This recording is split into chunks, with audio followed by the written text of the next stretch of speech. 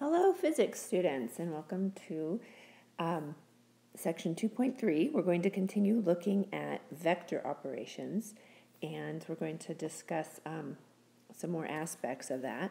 Here are the items we're going to look at. We're going to look at components of a vector, uh, what that means. Um, we're going to look at sine and cosine functions for right triangles. We looked at uh, tangent functions, now we're going to look at sine and cosine functions. We're going to um, look at situations where our vectors are not perpendicular and how do we do that. And then we'll look at how to solve that and how we add those vectors algebraically. So if you remember our example of uh, with our pyramids in it, we had um, both a horizontal component and a vertical component. Uh, the horizontal part and the vertical part are called components. Um, they are perpendicular to each other, and in fact, any vector can be thoroughly described by a set of perpendicular components. Um, as long as they are perpendicular, they ended up actually describing uh, the displacement um, for a problem. So, in order to resolve a vector, we just break it into its individual components.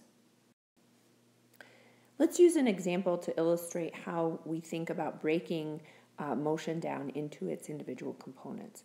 Let's say that we have a film crew, um, not a very big film crew, one person, filming um, this airplane. And, and the film crew is in this truck traveling perfectly horizontally along the ground. We have this airplane traveling, and uh, let's say it is going at 95 kilometers per hour. At, and it is um, traveling at an angle of 20 degrees right here above the ground. What is the speed that this truck needs to remain traveling at in order for the film crew to be right uh, beneath the airplane to be filming it? Well, in order to solve this, we realize that this airplane is going at a velocity that is 20 degrees um, north of east.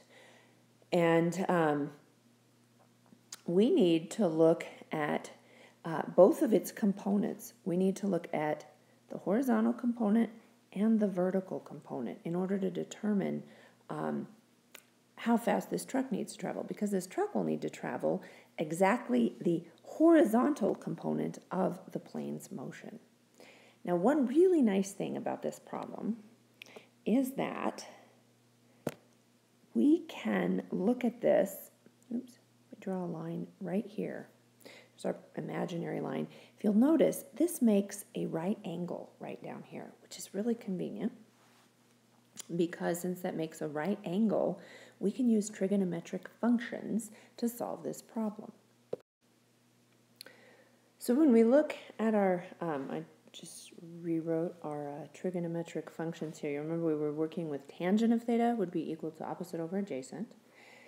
Sine theta, if you'll remember from math, or maybe this is new, I don't know, is opposite over hypotenuse, and cosine theta is adjacent over hypotenuse. So here's theta right here. 20 degrees is theta. We have, we can take theta, and we would like to, obviously, we know the hypotenuse, so we'd like this to be part of uh, the equation. Um, and we'd like to know this line right here, this, the velocity here.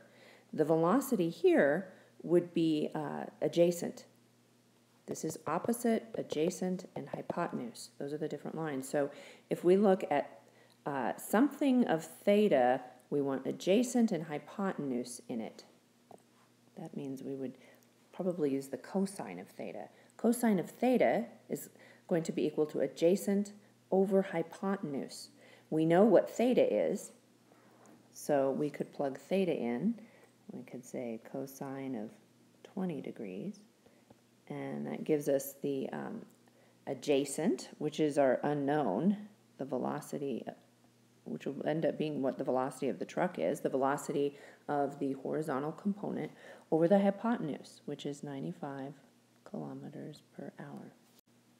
So from here you should be able to do some easy algebra Find the cosine of 20 degrees, then multiply both sides by 95 kilometers per hour, and that would give you the velocity in the horizontal direction would be, which would be the velocity that the truck needs to travel in order to stay directly underneath that little plane.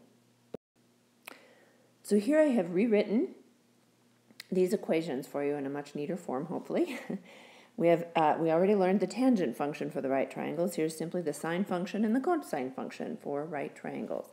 And once again, if this is theta, um, this is our the right the right angle here. So the hypotenuse is uh, the side of the triangle across from the right angle. We have theta here, so the opposite side of the triangle would, uh, of theta is the opposite, and the adjacent is the one next to it that is not the hypotenuse. So just in case you haven't done this before, those are sort of the ground rules. Here is another little mnemonic. I don't know if you've learned this in math, but this helps me to remember uh, the little formulas for the trig functions. And that's SOH CAH TOA. Kind of sounds like, uh, I don't know, some tribal name or something, but um, so would be sine of theta equals opposite over hypotenuse. Ka would be cosine of theta equals adjacent over hypotenuse, and toa, tangent of theta, would be equal to opposite over adjacent. And you can always draw yourself a little picture to help you figure that out. If you just remember SOHCAHTOA, toa, um, and you can spell that, then uh, that's kind of an easy way to remember these trig functions. So let's try an example. Before we do the example, I, I just want to also um, mention, in case uh, I hadn't mentioned it before, vectors can be moved parallel to themselves in a diagram.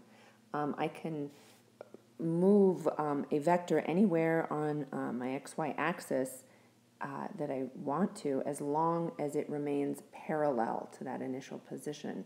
Um, therefore, I can kind of choose my own coordinate system how I want to, and that doesn't change my answer in the end because I'm going to maintain that particular coordinate system.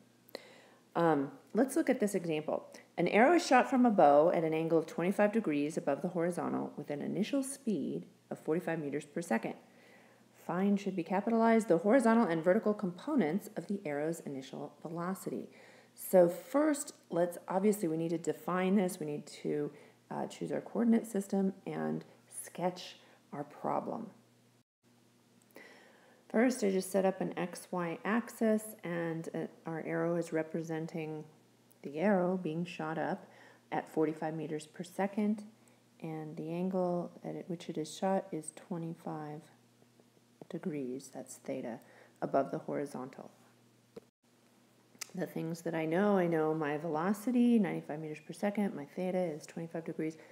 Uh, the horizontal component of the velocity and the vertical component of the velocity are the two things that I need to find. I don't know those, those are question marks. Next, I need to choose the equations that I'm going to use. Um, and I'll go ahead and write those down. Okay, here I wrote my two equations, and um, you can see my sine of theta, here's theta, is going to be equal to the opposite component, which is right here, the vertical component, that would be Vy here, um, over the hypotenuse, which is V, right there. I went ahead and clarified that for you on the diagram, um, the vertical and horizontal components. And remember, uh, cosine of theta is going to be the adjacent side, which is going to be the horizontal component of the velocity, Vx, um, over the hypotenuse, V. So there are two ways I can do this at this point. I can simply plug the values in for what I know. I know uh, V and I know theta in both of these equations. I do not know um, the, the uh, velocity of each of the individual components, vertical and horizontal. I can simply plug the values in and then chug away algebraically, or I can do the algebra first and rearrange each of the equations um, so that my, uh, my variable that I'm solving for is on the left, like this. Um, either way will give you the same answer. Just for kicks and giggles, I will um, rearrange it first this time. Um, some people like to do it one way and some the other, and both will give you the same answer. So here, if I, oops, that should be theta. If I rearrange um, my equation first, I get this, and I can simply plug the values in. So when I do that, I get um, my vertical component, the component in the y direction, as being 41 meters per second. And I'll do the same for um, my horizontal component. So when I plug those values in, I end up, sorry about that, I kind of ran it out of room. I get 45 meters per second times a cosine of 25 degrees. I get the velocity of my horizontal component when I plug that into the calculator at 19 meters per second. Now what happens if our vectors are not perpendicular? So far we've looked at uh, perpendicular vectors. It's really beautiful because we can easily apply our little uh, trig functions. But if they're not perpendicular, we cannot directly apply the Pythagorean theorem or the tangent function. So, um, or, or sine or cosine, uh, any of the trig functions. So how are we going to do this? Here is the approach. We're going to add our vectors algebraically. And all it means is we're going to be breaking down um, our components a little bit more. We're just separating um, the components into individual parts. We are going to find two vector components that each form a right triangle with the resultant vector. And then we can go back and use our Pythagorean theorem and our um, trig functions. And uh, once we do that, here's an example. What if we have uh, two vectors and they do not form a right triangle? We're going to make two right triangles out of them. We're going to make uh, add two vectors together here for this one, and we're going to add these two vectors here for this one.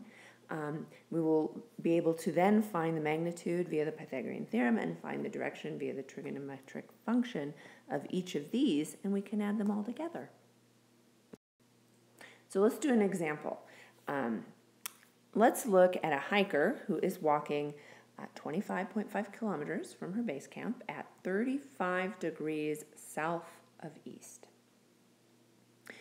Let's say the second day she then walks 41.0 kilometers in a direction that is 65 degrees north of east. These are going to not be uh, perpendicular to each other, are they?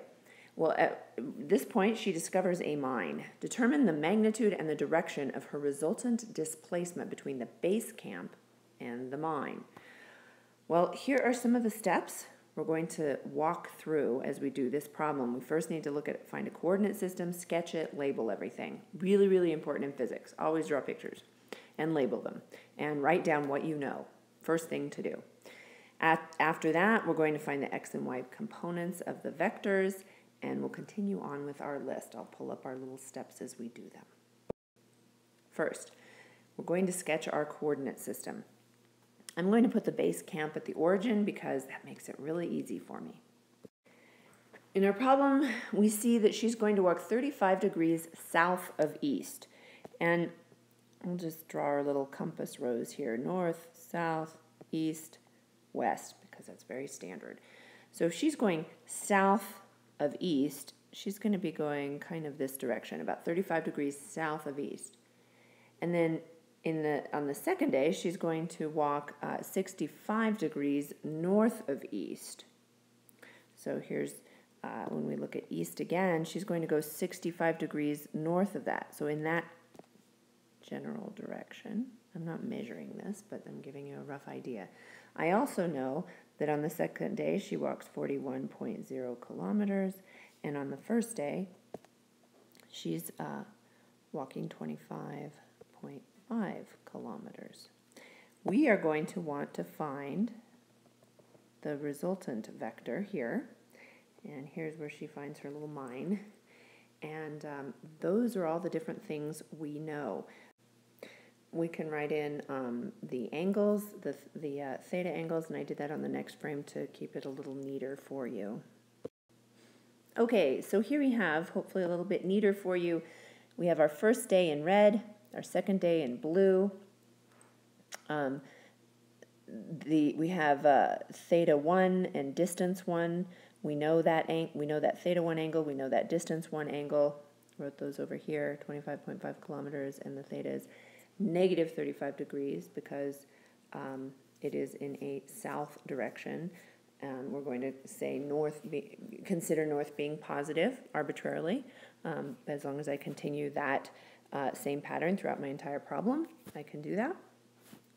And we also know that, that for distance here, uh, if we draw an imaginary little line across here, uh, this is theta 2 at 65 degrees, and this is distance 2 at uh, 41.0 kilometers. Here is our resultant vector, uh, distance just plain d and theta just plain theta. That's what we want to find out. So now, the second thing we do, once we sketch all of this out and write down everything that we know, everything we want to know and don't yet, um, now we're ready to go on to our next part. Do not go to step two until you finish with step one. Step one is really important. For step two, we want to find the x and y components of all the vectors. So here I split the vectors into two separate diagrams. I took vector 1 out and put that on its own diagram and on its own coordinate plane, and then I took out vector 2 and made its own little coordinate plane over here and drew those separately so that we don't get confused about everything. Now remember what I told you before, as long as I move this parallel, which is what I did here, I can move it anywhere on my coordinate plane. And I chose to move it from the origin because that makes it just easier for me to see. So that's what I did for that vector. Here I just relabeled everything and I broke out my uh, delta x and delta y for day one and I subscripted those one, meaning day one. Um, and then here also I'm, I'm just defining what it is I'm doing. I'm having my delta y and delta x components here as well. Okay, now we need to find the x and y components of the total displacement and then we can add those together. We're going to keep this broken down into day one and day two. We're going to find the x, the x and the y component for day one. We'll find the x and the y component for day two. We'll add the x components together to get the total x. We'll add the y components together to get the total y. So uh, let's start by taking day one we can use our equation, the cosine theta equals delta x1 over d1. If we rearrange that, we get delta x1 equals d1 times cosine theta. And if we plug those values in for d1, 25.5 kilometers, multiplied by that by the cosine of theta, which is the cosine of negative 35 degrees, we end up with a delta x1 value of 21 kilometers. Then we can do the same thing for the y component. We can say sine theta equals delta y1 over d1 and rearrange that to say delta y1 equals d1 sine theta. And we can plug in our values for d1, 25.5 kilometers, and theta, negative 35 degrees. The sine of theta times um, the 25.5 kilometers gives us a negative 15 kilometers. We can do the same thing with our day two, and I'm not going to rewrite the initial um, equations, but delta x2 equals d2 times cosine theta. I just rearranged this equation and substituted x2 and d2 and for x1 and d1. When I put values in for D2, 41.0 kilometers, and theta at 65 degrees, I multiply those together. I end up with delta x2 equals 17 kilometers. Now I can do the same thing with um, delta y2. And, oops, uh, delta y2 is equal to d2 uh, times sine of theta. That'll be a theta there. And um, substitute those values in. d2 is 41.0 kilometers. Uh, theta is 65 degrees. And multiply the sine of 65 degrees by 41.0 kilometers. And I get 37 kilometers. Now I can add these together for my totals. So let's do that in a different color here. Um, the total x is going to be x1 plus x2. So that's 21 kilometers plus 17 kilometers. So my total displacement in the horizontal direction, the x direction, is 38 kilometers. Let's look at the total displacement in the vertical direction. That's going to be y1 plus y2. I know that my y1 is right here, 15 kilometers. Plus y2 is 37 kilometers. And when I add those together, actually it's negative 15. when I add those together, 37 minus 15, that's going to be 22 kilometers. So now I simply rewrote um, those values into uh, the graphs there. I have my total x and total y. Since x is perpendicular to y, I can use now the Pythagorean theorem uh, to find the magnitude of that resultant vector. So um, I can go ahead and write down the equation for the Pythagorean theorem. At this point, I can plug values in and chug away algebraically, or I can rearrange my formula so that my uh, variable uh, that I'm solving for is on the left.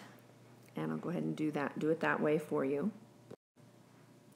So there I just rewrote it, um, taking the square root of the whole thing, obviously, so that I can solve for just d, not d squared. When I substitute uh, these values in, here's my uh, 38 and 22. Uh, I simply can substitute those in here and here. And when I punch that into my calculator, D equals 44 kilometers. So the magnitude of my resultant vector is 44 kilometers. Now I can find the direction of my resultant vector using trigonometric function. So now, uh, remember we can use our tangent function. Tangent of theta equals delta y over delta x. I'm going to rearrange that for you and just say theta, solve for theta, my, uh, my direction here, um, is going to be equal to the inverse tangent of delta y over delta x, the totals. And again, I'm going to substitute these values. Here's the delta x right here. Here's the delta y, get those straight. And for just saving space here and time, if I substitute those values in, take the inverse tangent of them, I end up finding that theta equals exactly 30 degrees. Um, I'm going to write 30 point um, because I need two significant figures and that I can also write 3.0 times 10 to the first degrees. I can write it either way, that's fine. And I need to specify that it's 30 degrees north of east um, and that uh, indicates the exact direction. Last step, does it make sense? Evaluate this. Um, I've tried to kind of draw this to scale to the best of my abilities, um, in which case, distance, does this make sense for a distance of 44? If we start with this being like 25 and this is roughly 41, it would be longer, right? And this being maybe 44, uh, would this be just a little bit longer than this? Yeah, it looks about right. It's within the realm of reasonability. Uh, again, drawing to somewhat to scale, not exactly. Would this 30 degrees north of east, does that make sense here for this being the theta? Yeah, it does make sense. So that's our answer. All right, let's do a quick review of these steps for adding vectors algebraically. Um, first, you need to select your coordinate system. You need to sketch the problem out, label everything, write down what you know, what you're looking for, and what you don't know. Um, next, you want to find the x and y components of all of your vectors. Then you can find the x and y components of the total displacement. Then you can find the magnitude of that resultant vector using the Pythagorean theorem and the delta x total and delta y totals. Um, then you can find the direction using your tangent function. Uh, and then evaluate, make sure it makes sense to you.